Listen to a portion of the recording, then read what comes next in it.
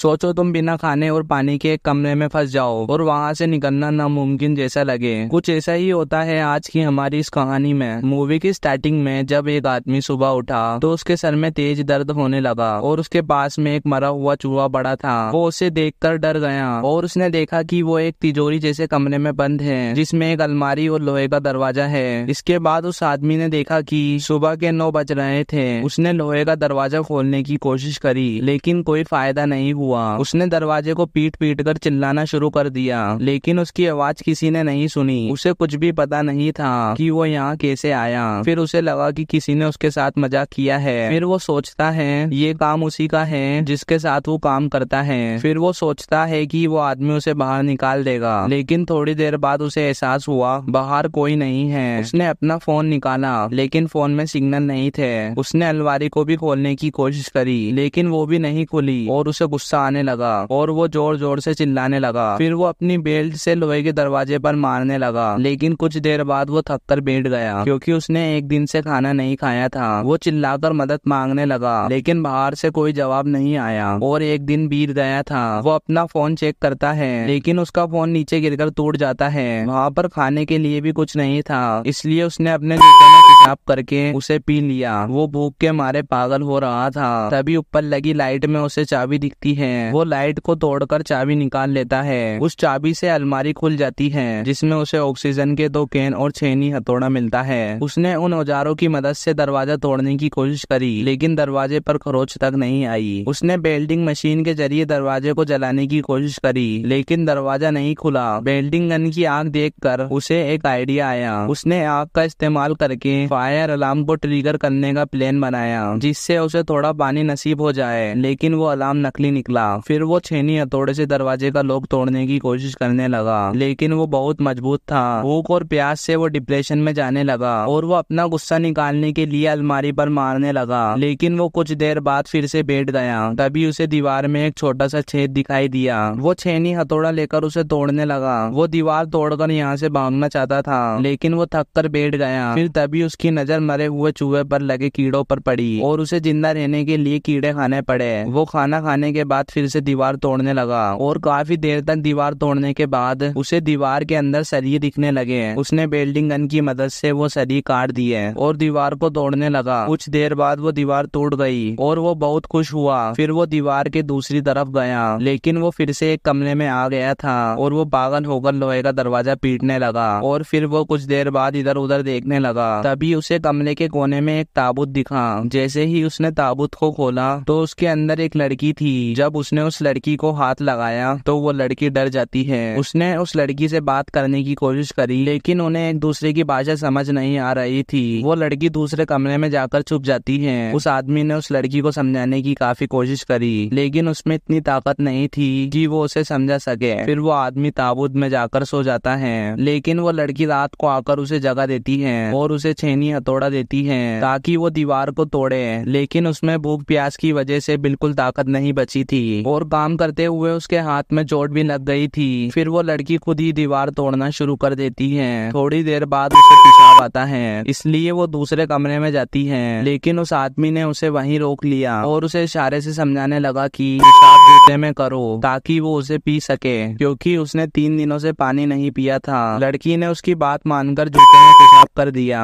और उस आदमी को अपनी जान बचाने के लिए उसे पीना पड़ा। फिर वो आदमी उस लड़की को कीड़े खाने के लिए बोलता है, लेकिन वो कीड़े खाने के लिए साफ़ मना कर देती है। कुछ देर बाद वो आदमी फिर से दीवार तोड़ना शुरू कर देता है, लेकिन वो थोड़ी सी ही दीवार को तोड़ पाया था। फिर वो लड़की रोने लगती है, उसे देखकर वो आदमी फिर से दीवार तोड़ना शुरू कर देता है। तभी गलती से हथौड़ा उसके हाथ पर लग जाता है। वो लड़की जल्दी से अपने सर का कपड़ा उतार कर उस आदमी के हाथ पर बाँध देती है और वो दोनों दोस्त बन जाते हैं और साथ में दीवार तोड़ने लगते हैं। तभी अचानक से दरवाजे का लॉक खुलने लगता है। दोनों भाग कर उसके पास जाते हैं, लेकिन दरवाजे का लॉक फिर से बंद हो जाता है। थोड़ी देर बाद उन्हें समझ आता है कि वो दरवाजे को नहीं देखेंगे तो लॉक खुल जाएगा। वो दोनों दरवाजे की तरफ़ देखे बिना ही उसके पास जाते हैं और दरवाज़ा खुल जाता है। फिर वो दोनों तीसरे कमरे में आ जाते हैं। ये भी उन कमरों के जैसा ही था, जहाँ पर एक खाली कबर थी। उस कमरे में पहले जैसा लोहे का दरवाज़ा भी था। फिर वो लड़की पिछले कमरे में जाकर जाकर सारे औज़ार ले आई। इन्होंने इस दरवाजे को भी पेले की तरह खोलने की कोशिश करी, लेकिन दरवाज़ा नहीं खुला।